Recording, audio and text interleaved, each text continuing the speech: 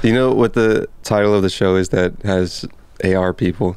Alter ego, I think. But something like that, where it's like, oh, what are they? What is media trying to lean you into? And if it's super big and colorful, it kind of just seems like it could be a, a virtual thing. That's maybe a little, a little get people, get older people used to big, fanciful, different worlds that are are not realistic looking. I told my mom, yo, all pop stars are gonna look like these AR people. And she's I think those still be human based. I she was like, "Oh yeah, but there's gonna be somebody backstage like performing and singing." I'm like, "Yeah," until they realize that they could just play a recording and save money. You know, it's all about saving money. by then it's gonna be a lot less label based. So you might have not the big heads running music going on tour. You might just have individual people going on tour that are bigger. Maybe they do still want to save time with technology. But I don't know. I don't know if it's gonna be such big conglomerates that are looking to cut the dollar any way they can. Like the the fucking the touring companies. Like let's say they have an AI or not an AI, but just a fucking a fake pop star. They can just like do so much more with the show because the the person's not a human. You know. You might you might for okay, so if it's more creator based versus labels at this point in the future when there's more tech where you can own your own stuff and interact with your fan base more. And that's probably going to be part of it where you're interacting with your fan fan base more one on one instead of kind of going through a label and the label just does gives you a loan for whatever reason. Yeah, here's the thing. Like, like you're saying, if like you're you're an, you're an independent creator that has an avatar, and you're like, yo, I want to go on tour with my avatar. I'm saying that your edge as a creator without a label and billions of dollars is that you have a connection with your fan base, which could be your deciding factor if you go on tour, and that's actually you on stage instead of they are. Yeah, I thought about that. I was like, is it really super important that the person is real for that connection? So more towards like it is kind of still the brand of people, but more non-human brand. Yeah, like and even even when you get to like a certain level, like people a certain level of fame, people are more invested in the idea of you than you you of a person. Like people know fucking Lady Gaga, not whoever whatever her real name is, you know. People know there are performers that definitely don't idolize the like art of performing on stage that could probably be upstaged by not them like fucking uh what's his name? Earl Like- Sweatshirt or something.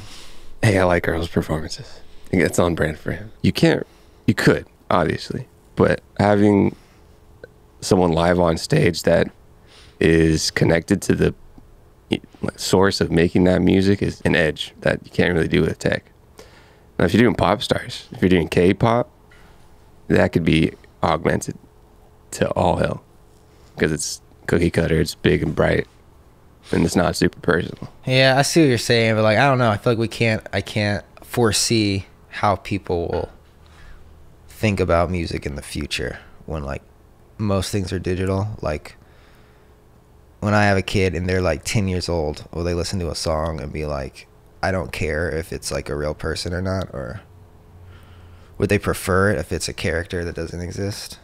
Will they prefer it if it's a real person? It could be like the classic debate, like fucking uh what's it called um digital versus um analog you know sure you know like oh you know, you know back in my day musicians were real people and they had to go on tour and like you can only they could only do one show at a time because they were only one place at a time but now they can be in new york and miami and la on the same night you know You could just do that too. You have one big old New York performance, and then you stream it other places and look at seamless. So it's not by streaming, I mean flashing on stage, and it looks one to one of an actual person.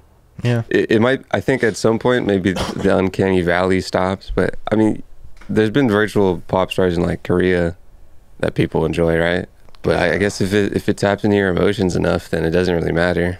the barrier to entry to if that becomes the norm will be so high because of all the production money It can be a, a big old gap. just just stupid money just needed That's what I'm saying. If or maybe less maybe- eventually it, a production you need tech you need tech I'm thinking it's just like a team of like engineers and lighting effects artists and maybe like a sound engineer, a couple sound engineers. What if the the the pop stars are fake, but the bands are real?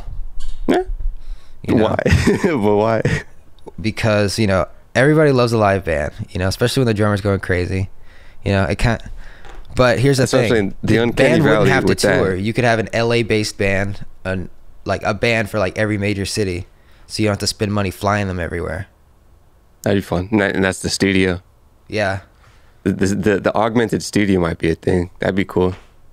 Where you have your, your studio and you VR it with Microsoft Mesh. You just get fucking I don't know. They get a girl, get her to sing 300 songs, and then they use all that data to make a bunch of songs. You know, See that?